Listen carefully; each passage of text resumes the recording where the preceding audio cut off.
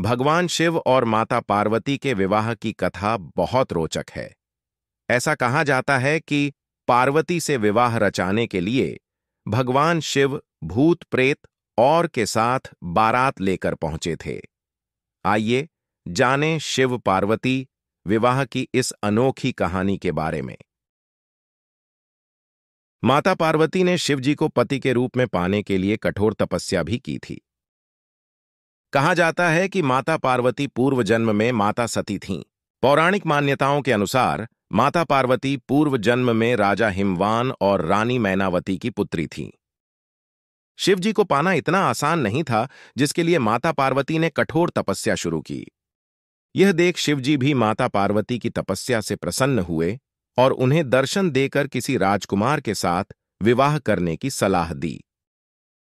माता पार्वती ने कहा कि वो मन में ही शिव को अपना पति मान चुकी हैं, इसलिए किसी और से विवाह करना उनके लिए असंभव है।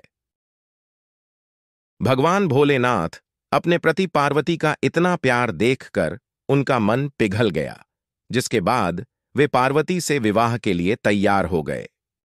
शिव जी माता पार्वती से विवाह रचाने के लिए पहुँचे तो उनके साथ भूत प्रेतों की बारात लेकर पहुँचे। भगवान शिव भस्म से श्रृंगार किए हुए बारात में पहुँचे थे और उन्होंने हड्डियों की माला पहनी हुई थी। भगवान शिव की ऐसी अनोखी बारात देखकर सभी डर गए और हैरान रह गए।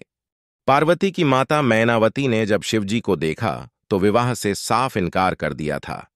माता पार्वती ने शिवजी से प्रार्थना की और कहा कि वह विवाह के रीति रिवाजों के अनुसार ही तैयार होकर आए। जब शिवजी दूल्हा बनकर तैयार हो गए तो उनका दिव्य रूप देखकर सभी हैरान रह गए, जिसके बाद रानी मैनावती भी विवाह के लिए राज़ी हो गई।